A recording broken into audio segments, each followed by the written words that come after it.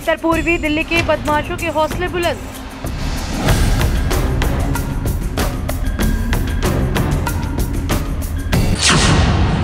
दिन दहाड़े बदमाश हत्या की वारदात को अंजाम दे रहे हैं।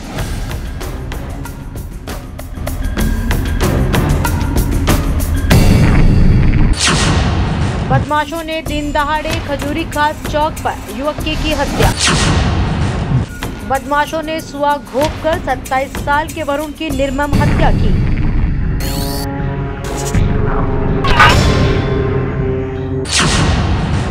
लूटपाट का विरोध करने पर बदमाशों ने वरुण की की हत्या।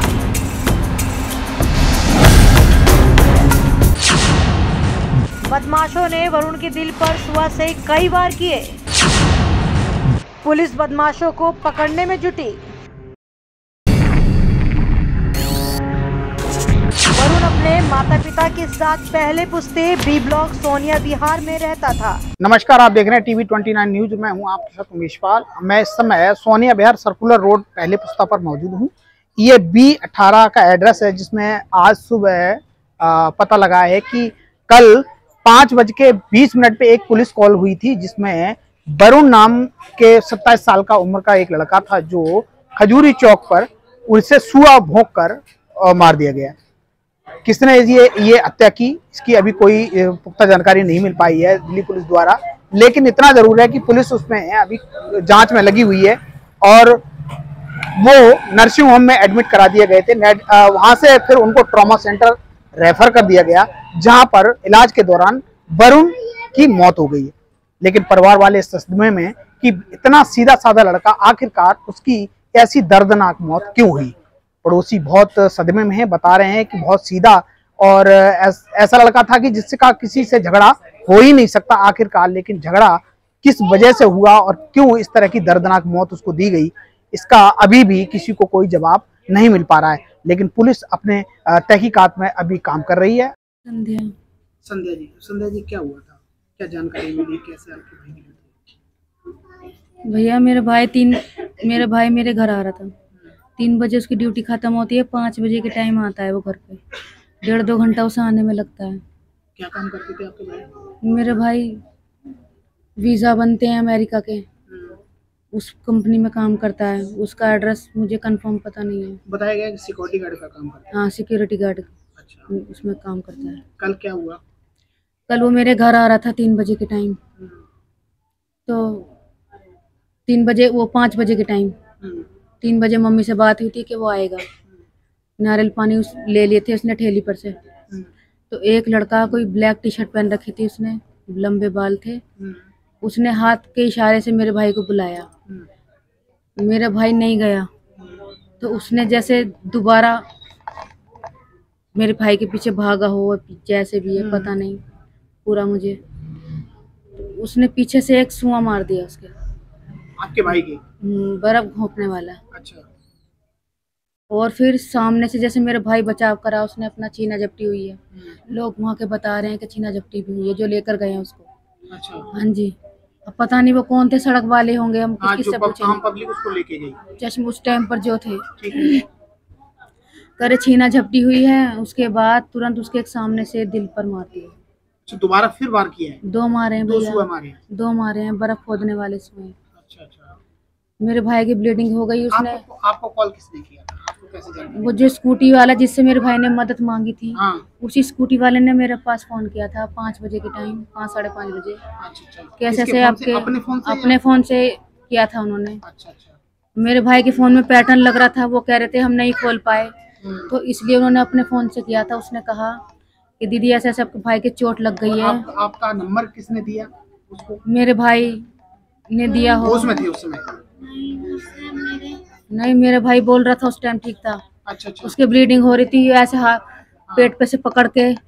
और वो उस लड़के से मदद मांगी है उसने उसको तरस खा के स्कूटी पे बिठाया है। उसकी स्कूटी पूरी ब्लड में हो गई थी। अच्छा, वो लेके हाँ वो लड़का कोई हॉस्पिटल है वहीं खजूरी पर आसपास गीतांजलि नाम से। अब पक्का भी नहीं पता वो गीतांजलि ही हॉस्पिटल है या कोई और है तो वो वहाँ पर लेके गए थे भैया। उसके बाद वहाँ पर एक आध घंटा उसका खराब हो गया। फिर उन्होंने वहाँ ट्रीटमेंट पूरा नहीं था तो इसलिए उन्होंने गीता वो ट्रॉमा सेंटर में भेजा। वहाँ जाके वो हमें हमसे पहले पहुँचा मैं उसके पीछे पीछे ऑटो में थी। मैं पहुँची हूँ पंद्रह मिनट लगे नहीं मेरे भाई खत्म। आपसे कोई बात नहीं हो पाई। नहीं उसके ऑक्सीजन लगा दी थी जाते ही।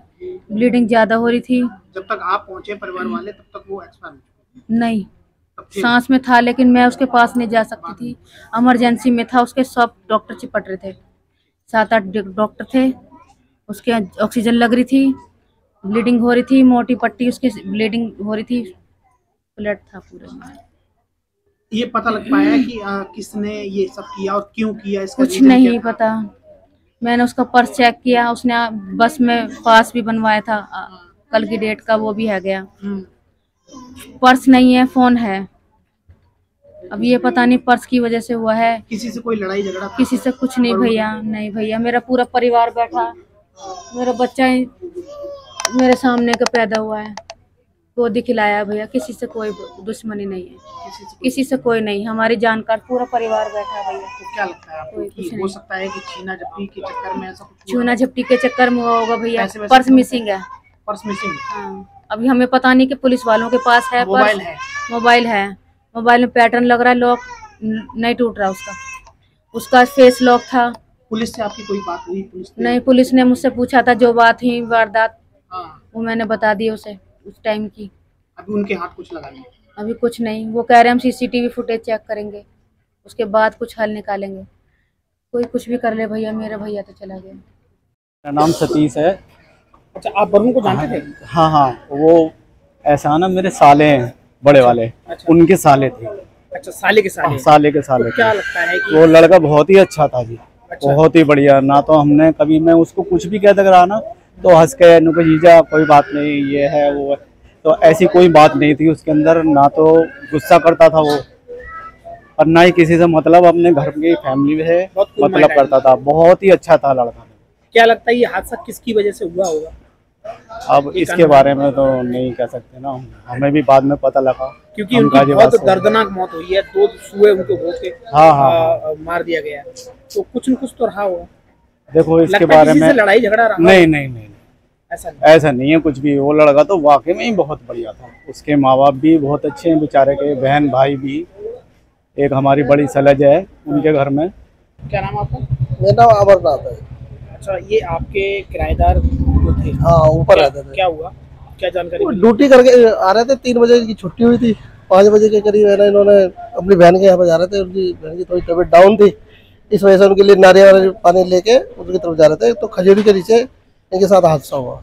अच्छा क्या सुनने मिला आपको? सुनने में ये मिला किसी ने फ़ोन करा था तो फ़ोन मिला तो इनके फ़ोन से ही तो इनकी बहन के पास फ़ोन गया। उन्होंने अपने हस्बैंड के पास फ़ोन करा। वो ड्यूटी करके आ रहे थे उस टाइम वजीराबाद थे। फिर वहाँ से ही वो है ना फिर जो वहाँ के सड़क पे कोई आदमी थे जो वो नर्सिंग होम की तरफ़ लेके गए थे। फिर ये भी वहीं पहुँच गए। अच्छा ये बताइए जो वरुण थे जिनका नाम वरुण था उन्हीं की तो हत्या हुई है? हाँ हाँ। तो क्या किस तरह के वो थे? मतलब किस तरह का लड़का था? लड़ाड़ू नहीं नहीं नहीं। लड़ाई झगड़े वाला था ऐसा नहीं था? वो तो बहुत सीधा साधा लड़का किसी से झगड़ा हो सकता है ऐसा लगता है? नहीं नहीं नहीं नहीं। बहुत सीधा उनके परिवार में कोई ऐसा नहीं कब कितने समय से आपके पास रह रहे हैं? यहाँ पे कम से कम मेरा साल भर से रह रहे हैं। आपने ऐसा उनका नहीं नहीं कुछ नहीं। साफ़ मतलब सुथरा लड़का था हाँ अपने हाँ काम से काम काम से काम अगर सामान लेने भी आता था अपने दुकान से सामान लिया सीधा ऊपर। ये भी नहीं कि सड़क पर जरा अनुमान लगाएँगे किस किस चीज़ से झगड़ा क्यों क्यों उनके साथ ऐसा हमारे को तो शायद जहाँ तक लग रहा है कि इसके साथ छेरा झपटी की वजह से ही इसके साथ ये हादसा हुआ है। अच्छा। क्या नाम आपका? वेद प्रकाश। अच्छा वेद प्रकाश जी वरुण कैसे व्यक्ति थे? वरुण बहुत अच्छा लड़का था। वो जब भी आता था बेचारा बहुत प्यार से अंकल जी नमस्ते। क्योंकि हमारा घर बिल्कुल जस्ट उनके बगल में है। जब वो छत पे आता था सुबह सुबह बेचारा सुबह सुबह नमस्ते करता था। और कभी किसी तरीके से उसने कभी किसी को आज तक यहाँ आस पड़ोस में कभी किसी को गलत नहीं बोला ना कभी कोई। लगता है कि वरुण से किसी का झगड़ा हो सकता है? नहीं सर कभी भी कोई सोच ही नहीं सकता।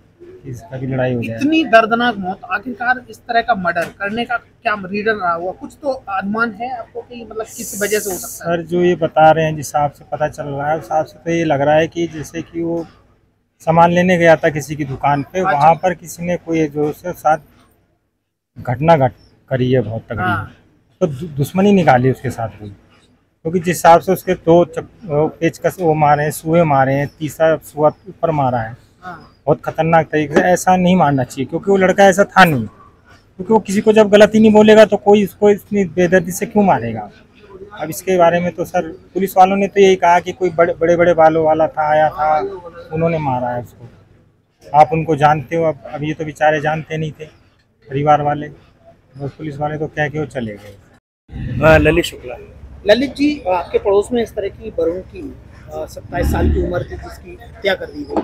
क्या कहना चाहोगे? देखिए, वो एक बड़ा सिंपल परिवार था, लड़का भी बहुत सिंपल था, कभी बहुत कम लोगों ने उसे देखा यहाँ पे, ज़्यादा यहाँ समय रहता नहीं था, आता था, अपने घर पे रहता था। मेरे को भी अभी पता चला तो मैं नन्नू भाई से पूछने लगा कि क्या हुआ, तब इन्होंने बताया। और जैसा जानकारी मुझे हुई कि खजूरी पे इस तरह की घटना की गई सुए से वार किया गया छीना झपटी के लिए उनका उनकी हत्या कर दी गई। तो खजूरी पे लगातार कुछ ना कुछ खबरें आ रही है। वहाँ एक तो बाज़ार के कारण इतना अतिक्रमण होता है, जिसकी वजह से एक्सीडेंट होते हैं। दूसरा, वहाँ आठ बजे के बाद शाम को इतने शराबी, इतने जेब काटने वाले और इतने ये असामाजिक तत्व इकट्ठा हो जाते हैं कि आम जनमानस वहाँ जा ही नहीं सकता। आप रात के समय पर आप उधर ऑटो स्टैंड है वो ऑटो नहीं पकड़ सकते, इतना वो भयानक माहौल बना रखा है वहाँ पे। सारे जितने यमुना पार के इसमाई की चरसी, जेब काटने वाले, चोरी चकारी करने वाले, सभी लोग वहाँ पे रहते हैं। और उन लोगों ने बगल में देखा, मैंने कि वो झुग्गियाँ डाल ली हैं, वो रहने भी लगे हैं। तो मैं पुलिस प्रशासन से आपके माध्यम से अपील करना चाहूँगा कि खजूरी चौक पर विशेष ध्यान दें। आम पब्लिक की सुरक्षा को ध्यान में रखते हुए उन लोगों पर निगरानी रखें। इस तरह के जो हाँ, वारदात होती है उसमें क्या ये जो बाज़ार लगता है जो पटरी लग, रेडी पटरी लगाते हैं जी। क्या मुख्य कारण है? किसके कारण? ये जो रेडी पटरी बाज़ार लगता है अतिक्रमण वो आप कह रहे हैं? जी। क्या वो मुख्य कारण है ऐसी बात मुख्य कारण वही है क्योंकि वो बाज़ार लगता है उसकी वजह से वो ऑटो लगाते हैं उसके बाद फिर वो रेडियाँ लगाते हैं रास्ते निकलने की जगह नहीं रहती राहगीर आपस में लड़ते रहते हैं एक दूसरे को हॉर्न देते रहते हैं टक्कर होती रहती है। तो मैं पुलिस प्रशासन से यही अनुरोध करूँगा कि खजूरी चौक का विशेष ध्यान रखा जाए और उससे अतिक्रमण को हटाया जाए और वहाँ जो भी असामाजिक तत्व इस तरह के हैं एक ऑपरेशन चला के उनको पूरी तरह से सफ़ाई किया जाए ये कोई नया नहीं है एक हत्या नहीं है आप हफ़्ते भर में सुन लेंगे कि अगले हफ़्ते पिछले हफ़्ते भी किसी की हत्या हुई थी वो पूरा रोड इन्होंने बिल्कुल मर्डर रोड बना रखा है वो एक जिस तरह से वो जो सुआ भोका है वो सुआ या तो वो बर्फ़ वाले का किसी का रहा होगा जी। कोई दुकानदार है। जी जी। जी देखिए वहाँ पर सुए वाली घटना ये सुए की वारदात अभी पहली नहीं है। कुछ सालों पहले आपने सुना होगा कि एक पुलिस वाले को आ, एक असामाजिक तत्व द्वारा सुआ घोप घोप के मार दिया गया था। तो ये सुआ कांड वहाँ पे पहला नहीं है। ये सुआ कांड वहाँ लगातार होते रहते हैं। पुलिस बस ध्यान नहीं देती। बगल में एसीपी ऑफ़िस है। खजूरी थाना है उस तरफ़ जाएँगे तो उस्मानपुर थाना सा, शास्त्री पार्क थाना चौकी भी है वहाँ पे हमेशा मैं देखता हूँ पुलिस तैनात रहती है लेकिन उधर कोई ध्यान नहीं दिया जाता है। और तो और एक वहाँ विशेष चीज़ बताऊँ ये जो किन्नर है इनका भी वहाँ पर आतंक है। यही लोग वहाँ पे छीना ये लोग भी उन छीना झपटी करने वालों के साथ मिलकर वारदात को अंजाम देते हैं। वहाँ से पूरी तरह से आपराधिक लोगों का सफाया किया। जितने भी वहाँ असामाजिक तत्व हैं, ये शराब, गांजा, दारू है किसी भी तरह का नशा करने वाले लोग जो वहाँ इकट्ठा होकर छीना झपटी करते हैं, उन्हें उनका पूरी तरह सफाया किया जाए। और वहाँ जो अवैध धंधे किए जाते हैं, ये यूनक द्वारा और ये प्रोस्टिट्यूशन लोग, वहाँ पे गलत चीज़ें करते हैं, जिसकी वजह से एक तो समाज भी बर्बाद हो रहा है और लगातार अपराध हो रहे हैं। तो मैं पुलिस से यही यही अनुरोध करूँगा कि खजूरी पर पुलिस प्रशासन को सख्त निर्देश देकर पूरी तरह से अपराध का सफाया किया जाए और ये जो लड़का वरुण है, इसको पूरी तरह इंसाफ मिले। ये अपने परिवार का एक लौता कमाने वाला था। इस पर पुलिस विशेष ध्यान दे, इसके कातिल को जल्द से जल्द पकड़े। धन्यवाद। कि पकड़ा नहीं गया कि कौन है जिसने ऐसी वारदात को अंजाम दिया। और बताया जा रहा है कि वो अपने सिस्टर से मिलने के लिए उनके घर जा रहे थे। तो नारियल पानी खरीद रहे थे। नारियल पानी खरीदते समय इसका झगड़ा हुआ। और वहाँ पर उनको दो से तीन सुए उनको मार दिए गए जिसकी वजह से उनकी आ, इलाज के दौरान ट्रॉमा सेंटर हॉस्पिटल में मौत हो गई है। लेकिन अभी ये खुलासा नहीं हो पाया है कि वो सुआ मारने वाला कौन था और किसने इस दर्दनाक वारदात को अंजाम दिया। कैमरा पर्सन रंजना शर्मा के साथ में Umesh Pal TV twenty news Delhi.